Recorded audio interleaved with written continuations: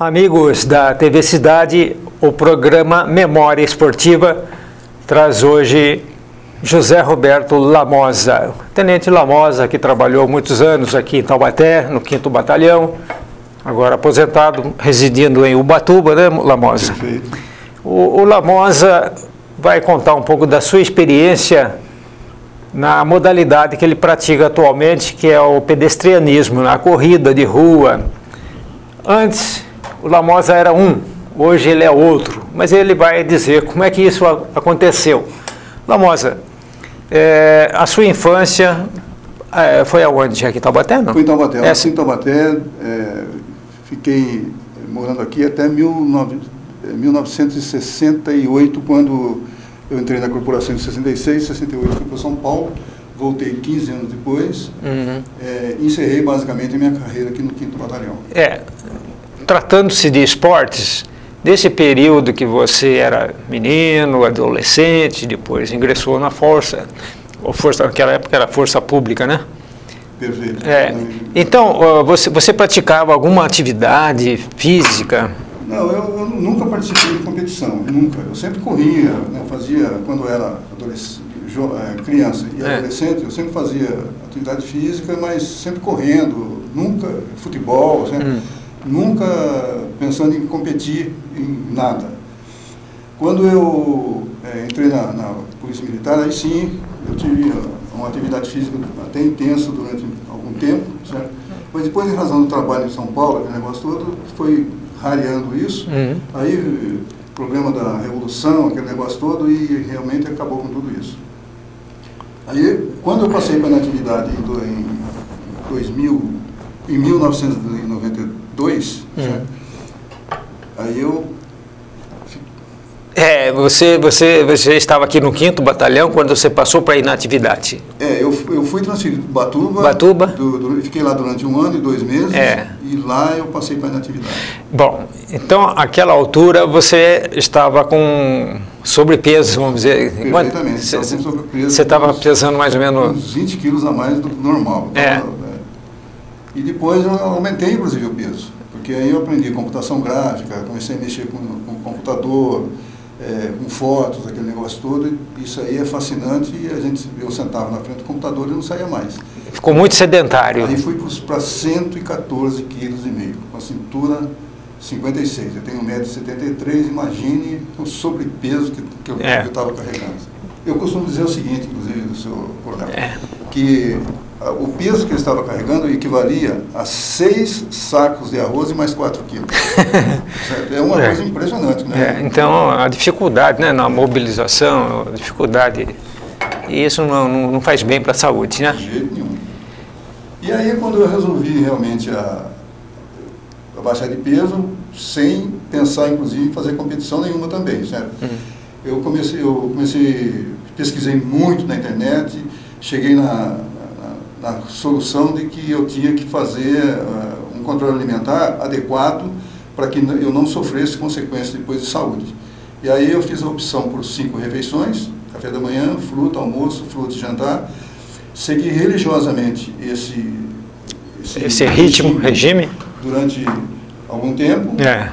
E depois eu comecei a fazer, depois que eu baixei dos 100 quilos, com 99 quilos, eu comecei a fazer eh, caminhada, caminhada e corrida e depois corrida. Aí eu comecei a correr e não parei mais? Não, não conseguia mais fazer caminhada, só corrida. É, e, e você trouxe aqui uma tonelada de medalhas. São muitas participações e até que em poucos anos, né? Que, Quatro anos e nove meses, É. eu consegui fazer 129 provas. é, E então, algumas delas, inclusive, são as mais importantes do Brasil.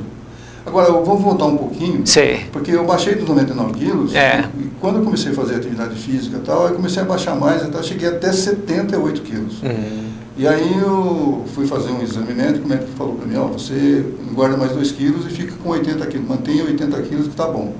E aí eu, eu fiz o que ele determinou, entrei numa academia, comecei a fazer 5 horas por semana de academia, de segunda a sexta-feira é, é, academia, e para que eu não perdesse a massa muscular. E fui ganhando um pouquinho massa muscular, e aí sim, eu estava preparado para correr, mas eu não pensava ainda em fazer atividade física. Uhum. Quando o subtenente Salgado encontrou comigo, agora tenente, né, passou para ir na atividade como tenente, encontrou comigo e perguntou, escuta, por que, que você não vai fazer São Silvestre com a gente? Está faltando quatro meses para uhum. tempo de fazer a inscrição. E eu fiz a inscrição, então a minha primeira prova oficial foi no dia 31 de dezembro de 2011, quando eu completei 68 anos. Vou, quero frisar essa idade, 68 anos que eu fiz a minha primeira prova oficial e direto para os 15 quilômetros. Eu fiz em uma hora, 31 minutos e 34 segundos. Quando eu passei o pórtico, dei um murro no ar, chorei, fiquei muito emocionado e, e disse que, e pensei né, comigo, meu Deus, era isso que eu queria a minha vida inteira e nunca tive a ousadia de tentar. Para mim ter essa mesma sensação, eu vou ter que passar em pórticos. E o resultado está aqui. Ó. 129 provas em 4 anos e 9 meses. É, você já passou por muitas cidades, fez meia maratonas, é, São Silvestre, quatro, né? É, cinco São cinco, Silvestre. Cinco São Silvestre. É, cinco meia maratonas em São Paulo, quatro meia, três meias maratonas no Rio de Janeiro, certo? É, duas meias maratonas na Foz do Iguaçu, e, e, e, assim por diante. É, é, volta da Pampulha, três voltas da Pampulha, volta ao Cristo em Poços de Caldas, 16 quilômetros, 132 metros, é, também todos os anos, cinco, cinco provas. Você que estava com mais de 120 quilos aí, é, sentia dificuldades em praticar certas atividades rotineiras da vida, né? E, e, e agora, então, depois dessa atividade física é, mais é, rotineira, né? Você vem praticando quase todo dia, né? Todos quase dias. todos os dias. É, eu faço o seguinte, a, a, minha, antes, antes era um pouquinho mais, inclusive, mas agora a minha média de, de treinamento são 30 quilômetros por semana de treinamento por semana e 5 horas de academia, certo? Isso no, na academia não larguei mais. Sim. 5 horas de academia, é, uma hora cada dia durante a semana, menos sábados e domingo, e, e 30 quilômetros de treinamento.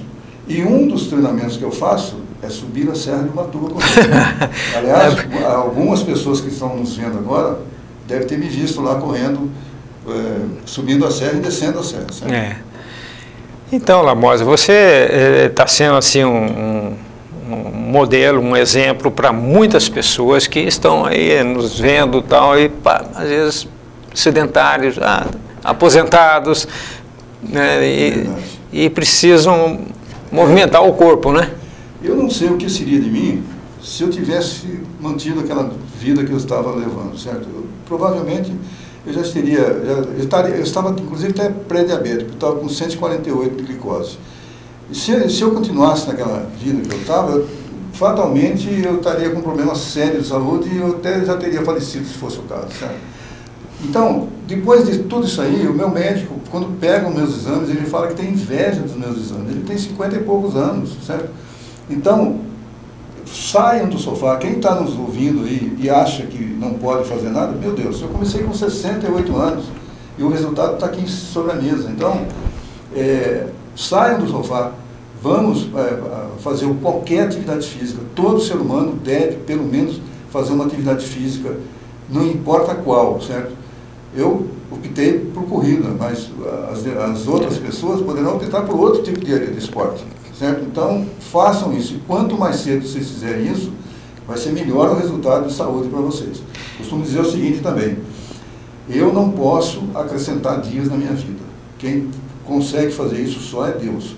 Se Ele mandar mais algum tempo para mim, eu agradeço. Agora, eu posso acrescentar vida aos meus dias. E é o que eu estou fazendo. É, aliás, é o que nós estamos fazendo. Né? É. Olha, o, o, o Lamosa tem até uma, um exemplo aqui uma, de uma, uma atleta, né? Aquela atlética tetraplégica, paraplégica? É, é, Clabia, Clabia. É uma, essa, é, essa dupla é uma equipe, Clabia, né? formou-se um, um, grupo em torno delas e delas, eu também faço parte. Eu faço parte, inclusive, dos atletas que que com a carga puxam, empurram a cadeira desse, desse pessoal. Hum. Às vezes eu sou convocado e vou e faço isso. A Cláudia Schaefer é o nome da mãe e a Beatriz é o nome da menina. A menina nasceu com um problema sério mental e não falava, aliás, não fala até hoje, só enxerga e faz sinal quando precisa de alguma coisa. Não escuta e não, não, não entende nada que está se passando em volta dela. Mas quando ela via na, na televisão algum tipo de esporte sendo praticado, corrida, futebol, ela ficava eufórica sentada no sofá e a mãe falou, bom, eu preciso fazer atividade física. Como eu tenho que cuidar dela e não consigo, ela é professora também, então eu vou fazer o seguinte, eu vou é, colocar ela para fazer caminhada comigo. Eu vou empurrando a cadeira e tal. E de repente um dia passou alguém, uma caminhonete lá, e viu ela fazendo isso falou, ah, vamos arrumar uma cadeira para você especial, para você correr com a sua filha. E ela começou a fazer isso. Hoje ela corre inclusive maratona junto com a menina, certo? Maravilha. E eu tive a grata satisfação de correr várias vezes com elas. Certo? Ela é uma pessoa muito conhecida no Brasil inteiro. E a Cláudia Schaefer é uma. É, a, a, Bia, quando me vê, inclusive, fica eufórica, tal, que sabe que eu vou ajudar a segurar na mão dela ou, ou empurrar a cadeira nas competições que nós fazemos juntos. Então, é um exemplo aí que o esporte move as pessoas, né? É, mesmo nessa situação, nessas condições. Verdade. E... Eu me orgulho também de, de, seu, é, de, de, de ter conseguido, durante todo esse tempo, é, trazer para junto de mim, nas pistas, lá em Ubatuba principalmente, aqui em Taubaté alguns, né, em Ubatuba mais, pessoas que estavam sedentárias, pessoas que estavam fumando na, na rua, e eu brincava, certo? Você tem um único, você tem, achei um defeito em você é o único. Aí a pessoa olhava para mim, eu mostrava o cigarro, e essa pessoa está correndo comigo hoje, então. para fumar e está correndo junto comigo hoje, certo? Sim. Então isso é impressionante. O esporte é maravilhoso, certo? Então quem tiver a chance, vem para a rua, vem comer asfalto com a gente, meninas. É, então até você estava é, fazendo um, um treino ali na Serra de Ubatuba, né? E uma pessoa estava é. acompanhando e é. filmando. Então, como eu disse, um dos treinos que eu faço é subir as serras. De cada 15 dias, mais ou menos, eu faço isso. Eu deixo o carro lá na rodoviária estadual, corro um quilômetro e pouco, subo 7,5, quando tem neblina, vou até o limite da neblina, porque é muito perigoso, e volto. E numa dessas vezes, um cidadão é, diminuiu a velocidade do carro, abriu os vidros e começou a me filmar. De dentro do carro, me acompanhando. Aí ele perguntou, é, Posso saber a sua idade? Eu falei, 71 anos, foi no ano passado. Eu perguntei, por quê? Ele falou, porque eu quero humilhar meu pai e meu sogro. Então, vocês vejam como é que são as coisas, né? Agora, eu de vez em quando também é, costumo fazer algumas conversas com terceira idade e tal, e também consigo trazer essas pessoas para pelo menos fazer a caminhada é necessário que se faça isso. É, você faz umas palestras em Ubatuba, Ubatuba. Né? para crianças, para idosos. Eu prefiro, eu prefiro terceira idade, terceira idade. Terceira idade, né? Lamosa, nessas suas participações, diversidades, você teve algum momento interessante, marcante? Tem alguma medalha aqui que estou vendo aqui uma como é que chama aqui? Mandala, mandala né? É, são várias mandalas que eu tenho que estão aqui, estão distribuídas aqui, mas são várias mandalas. É. É, uma, uma das participações interessantes é. foi essa uma lá em, que eu inclusive tenho uma foto dessa, desse, dessa passagem, foi da Cláudia Bia. Ela não tinha ainda, é, a menina não tinha ainda cruzado o pórtico é, para receber a medalha logo em seguida. Então eu fiz, lancei um desafio para a mãe, a mãe aceitou e quando chegou uma, aproximadamente uns 100 metros de distância, 150 metros de distância, antes de chegar no pórtico, ela desceu a menina e eu estava pensando inclusive que fosse só 40 ou 30 metros, mas ela parou 150 metros e falou. E aí eu perguntei para ela, Cláudia, você tem certeza disso? Ela falou, tenho toda certeza do mundo. E aí a menina começou a correr, tropeçou numa lombada, caiu, machucou o joelho e tal mas levantou, recusou a cadeira e eu fui protegendo essa menina até ela passar o pórtico. E ela só subiu na cadeira quando foi colocada a medalha no peito dela. Isso é um negócio maravilhoso. Com relação às medalhas, aqui hum. tem medalhas de, de tudo quanto é qualidade, tudo quanto é, é material, de plástico, madeira, madeira, certo? De bronze, tudo. Hum, Mas é um São pedaços de plástico, de ferro amorfo, não tem vida, mas quando a gente coloca no peito. E ele se mistura com o nosso suor, os nossos batimentos cardíacos, hum. viram relíquias, certo? Então, é, tentem, aqueles que não fizeram ainda, tentem participar de uma competição. Vocês vão ver que coisa impressionante que é isso. Vai ser maravilhoso, tenho certeza. Participe de competição para pelo menos ganhar uma medalha. Porque se ganhar uma medalha, duvido que não ganhe a segunda, a terceira, a quarta. Não importa a colocação. De jeito nenhum. Aliás, no começo de tudo, quando eu comecei a correr, eu era fissurado em, em subir em pódio, certo? Subir em alguns e tal. Quando eu estava correndo, uma passagem é, interessante também. Hum. Quando eu estava correndo uma volta da Pampulha, faltava um quilômetro para faltava um quilômetro para chegar no final da prova. Eu vi um, um garoto, certo, desesperado, com problema de cãibra, é, rolando na, na, na, grama e dizendo, meu Deus, eu fiz oito meses de treinamento para conseguir aqui chegar a fazer e bater o meu recorde, que negócio todo. Aí eu tentei levá-lo, certo, apoiando ele esse um quilômetro, mas não consegui porque ele falou que não ia dar tal, deitou na grama e falou, vai fazer o seu tempo. Eu fiz o meu tempo, tudo bem, tranquilo, mas com aquela dor no coração, certo? E viver aquilo que tinha acontecido. Quando eu estava correndo minha segunda é, prova lá em, na, nas cataratas, eu, é, na largada alguém pisou no meu dedão e em razão disso, quando faltavam dois quilômetros para chegar no, no término da prova, eu senti um desconforto na panturrilha e aí um cidadão que estava atrás de mim veio com uma, uma sacolinha no, no, enrolada na cintura e falou, algum problema? Eu falei, eu tenho a impressão que vai dar um problema na minha panturrilha. Ele falou, então dá uma paradinha. Chegou e espargiu produtos é, especiais para isso né, na minha coxa, me deu uma orientação e falou, siga, dando siga a minha orientação que você vai passar o pódio. Eu fiz tudo que ele determinou e consegui chegar, certo? Da, daquela corrida em diante, eu costumo fazer a minha corrida solidária.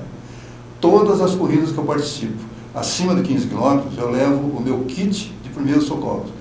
É um frasco de, de, de produtos, certo? Para aliviar dores de outras pessoas. Só para você ter uma ideia, na São Silvestre de 2015, eu ajudei 12 pessoas durante esse trajeto. Então, não me preocupo com pódio, é, com, com pódio, certo? Da, da corrida solidária. Quando eu sou convocado para empurrar um carrinho, eu tenho certeza que eu não vou subir em pódio. Quem vai subir é o, quem eu estou empurrando, certo? Então, não é, isso é, para mim agora é bobagem, certo? Subir pódio. O que interessa para mim é participar, estar junto com eu arrumei tanta amizade. Essa equipe Face Runners, são mais de 5 mil integrantes dessa equipe. Da onde é, é Face Runner? Aqui da região do, é São José, do, do Vale. Norte. É. Então, vejam bem, quando eu estou fazendo aquele meu treino solitário lá na subindo a Serra de Batuba, hum. não estou só, não estou só. Ali no meu coração está aquele grupo de pessoas que está me incentivando, que está me ajudando. Então, aqueles, inclusive, que é um conselho que eu dou também, aqueles que querem realmente participar desse meio, primeira coisa, uma das primeiras coisas que tem que fazer é entrar num grupo, certo? Aí vai ter maior incentivo, é um, vai ter, os treinamentos vão ser mais gostosos, porque vai ter aquelas reuniões maravilhosas, certo? Então, façam isso. Então, a gente até acrescenta, né, a pessoa que queira iniciar uma atividade física, que passe pelo seu médico, faça um check-up e, e aí inicie, aqueles que estão, que são realmente sedentários, né, que inicie é, lentamente para atingir um, um, a sua potencialidade. Agora, o, o, o você é, participou de uma corrida é, em Poços de Caldas. Isso. É, é, é, eu participei cinco vezes lá. Cinco vezes. É uma, é uma, prova, é uma das maiores. A experiência. É uma das piores provas, entre aspas, do Brasil. É. Mas quando a gente está terminando, a gente quando chega no, na metade da prova, a gente começa a se perguntar, meu Deus, o que, que eu estou fazendo aqui, certo? porque é terrível. Você corre 5 km, são 16 quilômetros, 132 metros. Você corre 5 quilômetros, aí vai subir um morro de 4 km e meio. Se for de carro, é de primeira, não consegue colocar segunda, até lá em cima. Nós temos que correr esse trajeto de 4 km, depois desce uma ribanceira de pedra e barro. Quando chove, barro, certo? E quando chega no final, a gente está chegando no final para passar o porto, a gente fica pensando já na corrida próxima, no próximo ano. Sabe? É impressionante para assimilar. É. Então é muito bom, vale, a pena. Alguma outra lembrança aí? Você fez alguma anotação? É, Você tem as imagens, depois serão passadas as imagens também, né? É, tem umas, umas fotos lá para é. passar as imagens. Isso. Mas eu vou só ler aqui algumas coisinhas que, eu, que algumas provas que eu participei, que são uma, uma das mais importantes do Brasil. Uhum. É, de 21 km, meia maratona de 21 km e 87 metros, é, a do Rio, quatro vezes a de São Paulo cinco vezes, a, a das Cataratas duas vezes. A volta da Pampulha são 18 quilômetros, três vezes, uma, uma altitude de mais de mil metros, certo? É, 16, 132, a volta do Cristo em Poço de Caldas, cinco vezes. É, 16 a 90, corrida 10 milhas garoto, duas vezes. E 15 quilômetros da São Silvestre, cinco vezes. Essas, essa corrida da São Silvestre, para mim, é muito importante. Primeiro porque eu faço aniversário nesse dia, no dia 31 de dezembro. Todas as vezes que eu vejo, que eu via, antes de eu fazer tudo isso, eu via uma corrida São Silvestre, eu tinha uma vontade tão grande de participar pelo menos uma vez dessa corrida, mas eu nunca tive a ousadia de tentar, como falei a primeira vez, né? Eu nunca tive a ousadia de, de ir lá e participar. Bom, então, a primeira corrida minha foi a São Silvestre 2011. Até lá, de lá para cá foram cinco. Esse ano já estou inscrito para a sexta prova. E se Deus quiser, eu vou correr essa prova até 2025. Esta é a minha pretensão. Quero ver se eu consigo fazer isso. Ah, ah, ah, você almeja chegar até uh, dois, 2025? 2025. Por... Então, eu, nós, nós, estamos em 2016, faltam nove anos. Então, faltam 10 São Silvestres ainda. Né? Ah, tá. Então, eu estou com 72 anos, hum. quero correr até 82. Olha, então, o, o Lamosa, você sempre hum, faz as suas inscrições e vai sozinho ou vai em grupos, porque, como você falou, né? Hoje... Não, eu tenho um grupo. Um grupo. Eu, eu, esse grupo, certo? Geralmente, a gente, quando a gente vai para uma corrida, que, pelo menos aqui no Vale do Paraíba, hum. aliás, em todas as corridas do Brasil, é. quase as principais corridas do Brasil, sempre tem alguém no nosso grupo lá correndo, certo? Mas aqui nas, nas milhações, geralmente a gente ganha com o grupo de maior equipe, sempre, certo? Nós, nós conseguimos colocar 300 pessoas, 301 pessoas, uhum. numa das corridas aqui no Vale do Paraíba. E aí a gente, ela, a nossa tenda, e a gente leva, cada um leva alguma coisinha para uhum. repartir durante esse período né, da, da prova, e o que sobra a gente leva para a instituição de caridade. Não é sobra. O que está na mesa ali que ninguém se alimentou ainda, então a gente leva para a instituição de caridade, certo? E, às vezes estão reunidos ali para correr, junto com familiares, tudo, quase mil pessoas. Né? É um negócio impressionante, muito bonito, bonito é isso que a gente faz. A maior, a maior corrida, ou que traz maior público que você já participou, eu acredito que seja São Silvestre, São né? São Silvestre. São Silvestre é na, na mais ou menos. Quase... Foram 45 mil pessoas. Ah, 45. 35 mil pessoas inscritas e, 40, e 10 mil pipoca. pipoca. Aqueles que não pagam inscrição. É, tá certo. É. é, porque afinal de contas tá caro, né? Não, participar, tá. participar de todas essas as provas também fica, é, fica oneroso para as pessoas, é né? Mas é, não importa se a pessoa vai viajar para longe ou não, participe da, da corrida aqui no próximo, é, né? Tem muitas corridas. Eu, eu inclusive, costumo dizer que está faltando domingo, certo?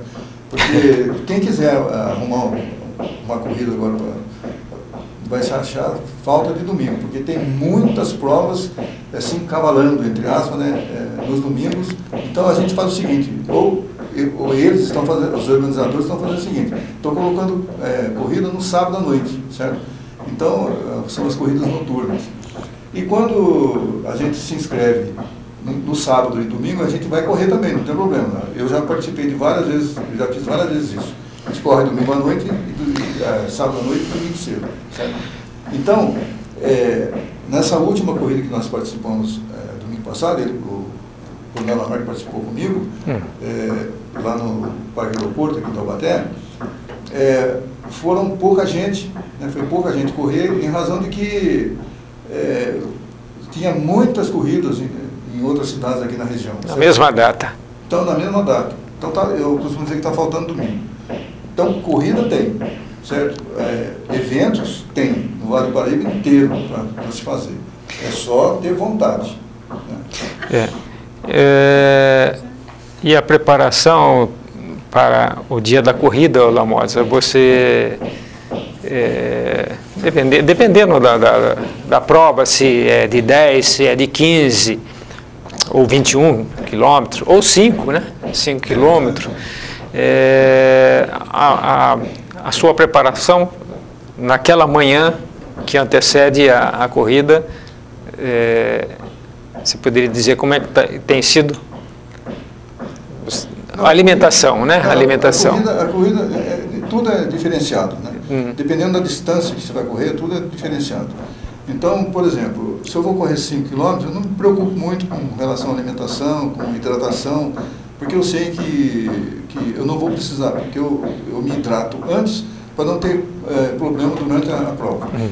Então eu não vou ter esse problema. Mas quando uma, uma prova de 21 km, por exemplo, aí eu tenho que me preparar. A preparação é um pouco diferente. Eu faço o treinamento de segunda até sexta-feira, certo? No sábado é um descanso e ingestão de, de carboidratos. De preferência uma macarronada bem deliciosa, né? um pedacinho de carne e tal. E hidratação total até a hora da prova. Depois da prova, eu só tomo, é, isso é de cada um. Cada um tem a sua maneira de Seu ritmo. fazer, certo? Eu, por exemplo, só tomo nos 21 quilômetros, eu só, a hidratação minha durante a prova são em três pontos só, certo?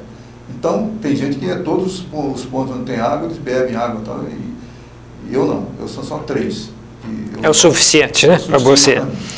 E, e a, a, questão também do, do uniforme, né, é. tem que ser uma malha leve. É, a malha, uh, o ah, uniforme ele tem que ser um, o minimalista, tudo, meia minimalista, aquela meia é, curtinha, que não aparece nem quando você põe o tênis, ela não aparece, levinha, certo? O, o short e a camiseta poliamida, certo? A camiseta do short, é, tem alguns que pesam os dois 50 gramas, é muito leve. O tênis, eu uso um tênis de 156 gramas, certo? Cada um para fazer as minhas corridas. E, e as corridas é, de pequenas distâncias, 10, 5 e 10 Eu falo de pequenas distâncias, pessoal e fala 5 e 10 km, o pessoal pensa. Mas para a gente é, são pequenas distâncias. Então eu uso esse tênis só para isso. Agora, para outras distâncias, eu tenho um pouquinho mais pesado, porque tem que ter um maior amortecimento, porque vai ficar no pé durante duas, duas horas e meia, três horas. É, é, é, a importância de estar também um tênis apropriado, né, para para amortecer os impactos, né? E, e a gente sabe que o joelho é a parte que mais é afetada pela corrida. Enfim, a gente tem que tomar algumas precauções para poder eh, fazer treinamentos e participar de corridas. É, e quanto mais, quanto menos peso você tiver durante a prova, é melhor para você. É, eu, tenho, eu vejo pessoas impressionantes, não, não, não, às vezes nem consigo acreditar. Você que ele coloca um cinto com, dor, com duas garrafinhas de água, certo? Coloca um, um, fone de ouvido pesado pra caramba, certo? um smartphone pesado no braço, e vai correr 21 quilômetros. Meu Deus. Eu, eu, se uma pedrinha pequenininha entra no tênis, pare para tirar. Porque no fim, quando estiver no final da corrida, vai ser um paralelepípedo que está ali atrapalhando você dentro do pé. Imagine um smartphone do lado do corpo, um fone de ouvido tal. Negativo. Corrida é corrida, é só aquilo, vamos focar só naquilo, o mínimo possível no corpo. Quando pega água, bebe a água e já descarta o, o vasilhame lá. Não, não fique carregando na mão de jeito nenhum, porque vai é, dar problemas logo em seguida. José Roberto Lamosa, é, você já passou por algum imprevisto durante a, a corrida? Se bem que faz quatro anos e meio aí que você participa, mas eu acredito que possa ter ocorrido, às vezes. Ó, é, ao, teve ao, uma, uma, corrida noturna lá em São Bento do Sapucaí, é. que fizeram a marcação com um LED, um LED específico à noite, porque ela foi num campo, é um, é treino, né? Subir uma, uma ribanceira, depois passar por um campo com um capim bem alto e tal, e colocaram, foram fincando esses, esses marcadores. É. Só que ventou e derrubou cobrir é. aquilo. Ah, sim, sim, com o mato. E muita gente ficou perdida no meio do mato. E teve gente, e eu, fiquei, eu também no começo fiquei, mas depois eu consegui achar o, o caminho correto e fui embora. Mas teve gente que deu de cara com um boi bravo lá, certo? De noite, é. tudo escuro, certo? É. Uma lanterninha só na cabeça. O negócio foi complicado. Precisamos voltar para resgatar o pessoal. É. Foi o único problema que aconteceu comigo durante todo esse tempo. É. Graças a Deus. Muito bem. Mais alguma lembrança, Lamosa, a sua atividade atual? Não, é, eu, a minha, eu tenho uma pretensão de correr a São Silvestre no ano que vem, se Deus quiser. A Maratona do Rio de Janeiro no ano que vem. Ah. Eu falo para mim, por que você não vai correr em São Paulo, Maratona de São Paulo? Maratona de São Paulo é meio complicada para quem vai pela primeira vez, certo? Lá no Rio não, no Rio sai lá do, do, do sul do Rio de Janeiro, da Praça de Maia, e vai até o aterro do Flamengo, é tudo plano, só tem uma subida, só que é a subida de São Corrado, né? Margeando a praia. Margeando a praia, aquela coisa maravilhosa. É, certo? muito bonito. Então, eu pretendo fazer a maratona do Rio de Janeiro. Se Deus quiser, esse ano que vem agora eu faço a maratona. É uma preparação completamente diferente de tudo aquilo que eu fiz até agora. São cinco meses de preparação, seguindo planilha, vou fazer tudo isso, se Deus quiser. É, parar de correr é, muito, certo? Para poder focar só na maratona. Vamos ver se eu consigo correr os 42 quilômetros, 195 metros desta maratona do Rio de Janeiro. Então, tá aí o um pouco da experiência, um pouco da atividade do nosso José Roberto Lamosa, ele que estava aí com sobrepeso e agora está numa, seguindo essa dieta, participando de, de, dessa atividade esportiva que traz muita amizade, traz saúde e, e, e satisfação.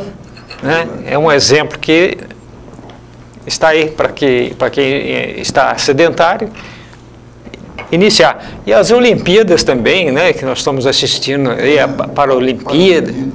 Né? Então, eh, você vê lá as pessoas com deficiência fazendo e alcançando recordes mundiais.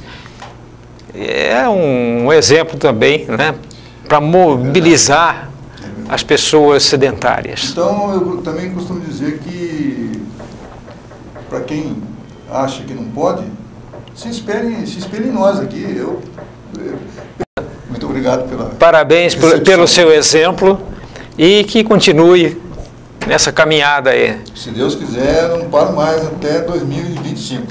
Se, se eu chegar lá com, em boa, com boa saúde, é, usando das minhas faculdades completas, mentais completas, eu vou seguir em frente não paro mais. Com barba ou sem barba? Com barba. Com barba. Agora já ficou.